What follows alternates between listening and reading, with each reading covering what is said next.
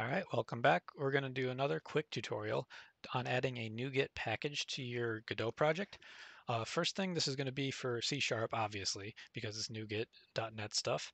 Um, also, I'm going to be using Visual Studio Code.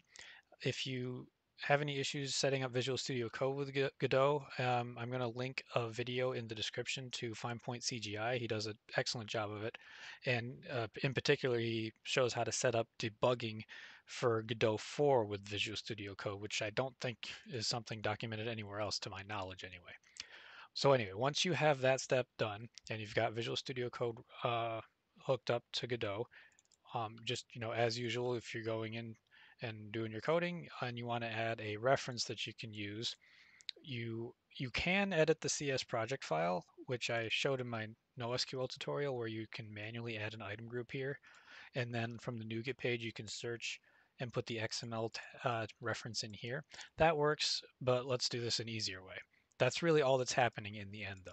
It's good to know that. So if you go to packages and type in NuGet, you'll get a few options up here. The one I've been using is this NuGet Package Manager GUI. I do notice it's in preview, as is this one. So if you're concerned about maturity, there's one here that does not have preview on here, but this is the one I'm going to use and demonstrate. So again, let's uh, pretend we haven't done this already. You hit Control Shift P to bring up that context menu. And it's on top for me, but again, if it's not, just type in and you'll get uh, the package manager. And then you go over to install new package if you want to look for a new one. Um, so I don't know, say Tesseract if you want AI for whatever reason. Uh, the, so then it brings up the package list, uh, you know, according to the search. Pretty straightforward. You click install.